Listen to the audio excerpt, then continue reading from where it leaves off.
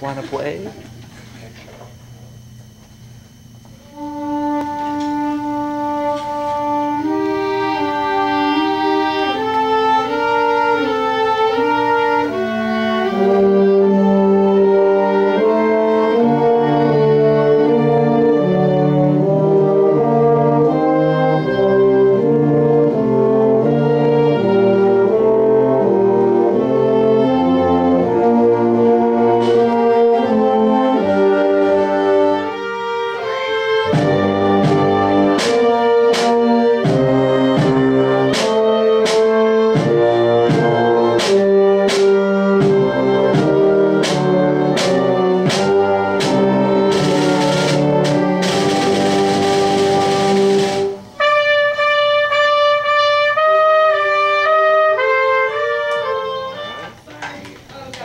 God, I Yeah, didn't hear the count and totally blew yeah.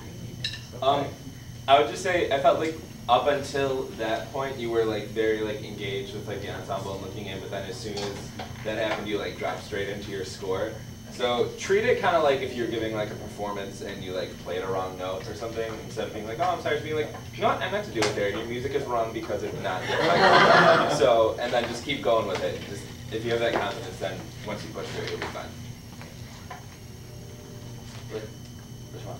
Uh, Jake. Oh. And then- Uh, it looked like you were counting bars with your mouth. I was. Okay, that was kind of. And then I totally got lost. Okay. Yeah.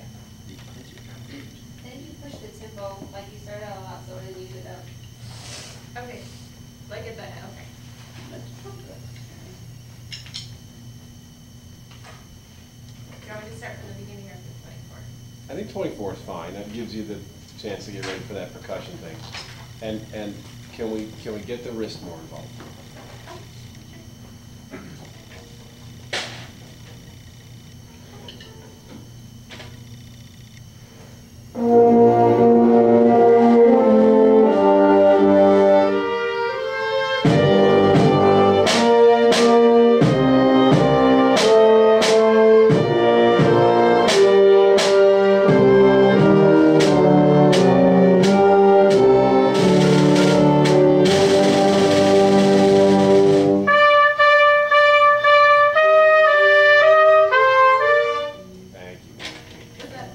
Yeah.